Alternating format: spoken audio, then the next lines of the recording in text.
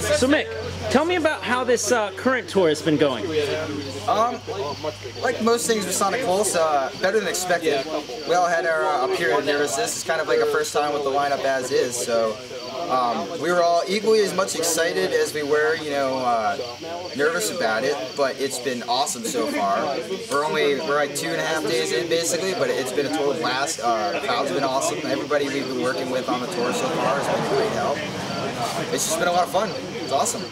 How long have you been working with this current exact lineup of August since August 20, or I mean August 15th? Actually, we were kind of laughing about it because I'm pretty sure this day, exactly a year ago, was Sam, our bass player's, our well, our current bass player's first gig, and we kind of like kicked out the old bass player in a last minute decision to basically be like, you don't have your shit together, he does. So we're giving him a chance. So this is, uh, yeah, pretty cool for us. We're basically right a year on the spot of the band as is. We all moved in together August last year and started rewriting material and working together to like bring the band out to everybody as it is today. Now, um, I remember that EP. Um, what was it called? Uh, Adventure Time, or no, forgetting it. Oh, I can't remember the name of my own EP. That's great. Adventure Metal. There we go. I knew his Adventure was in there. Yeah. I wanted to say Adventure Time, but I was fucking it up. Um, but yeah, so we did that uh, December-ish last year. I think it was right around Christmas time.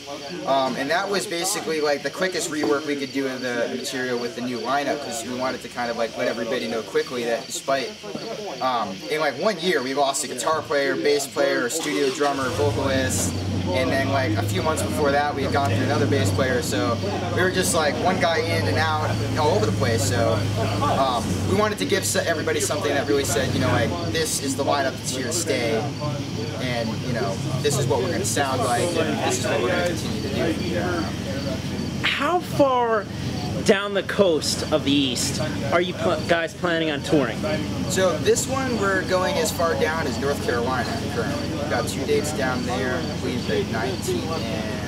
the 20th. Now tell me all these shows until you get down to North Carolina. Um, so tomorrow night we're going to be in Providence, Rhode Island. Um, that's going to be an awesome show. Uh, our buddies Crotivore helped us out with that, and Epicenter is another band from kind of they're buddies of ours.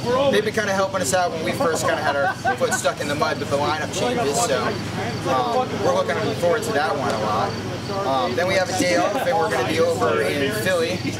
And the day after that's going to be North Carolina. And from there on up, it's kind of like back up through the Midwest, Canada, and homeward bound essentially from there. And uh, what area of Massachusetts are you from?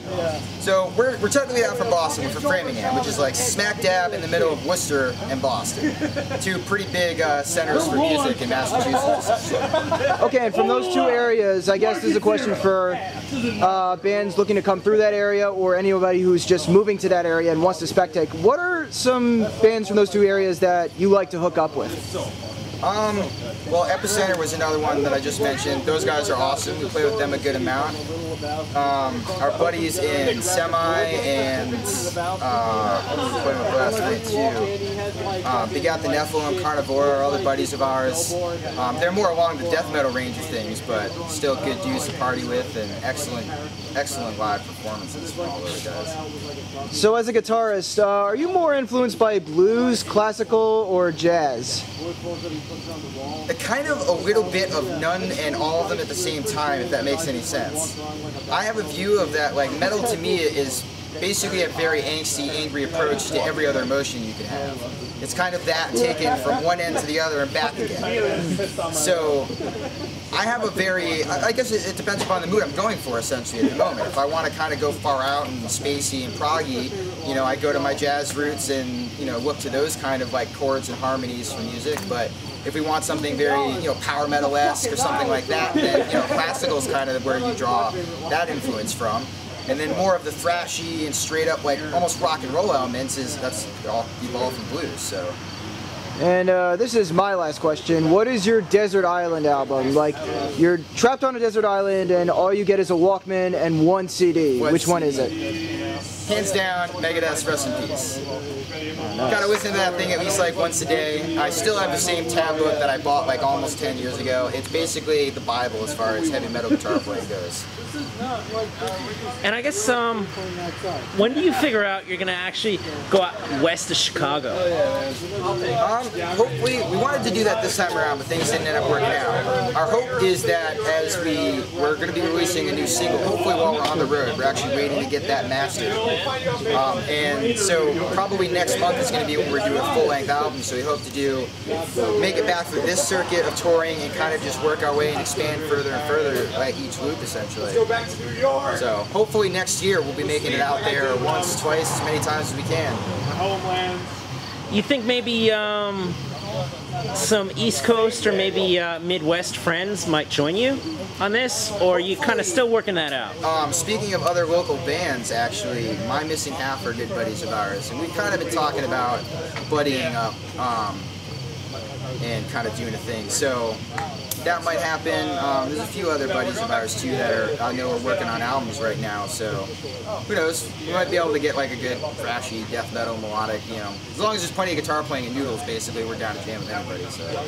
And uh, like in the next, or for the rest of the year, are you guys gonna be featured in any magazines or zines or radio shows that you want to plug right now? I think the only one I can think of off the top of my head is uh, Granite Coast Music, I think it is. Um, but there's a local radio show near us that uh, plays a lot of local metal bands. And some of those guys actually put together a, a compilation called 27 Tons of Metal. And that's a whole bunch of New England bands. So actually that's an awesome one to check out um, if you want a taste of New England metal as a whole. Would you like to go back to any questions? Um, no, good. Final words. Final words. Uh, stay metal, have fun, party, and never give up on your dreams. Awesome.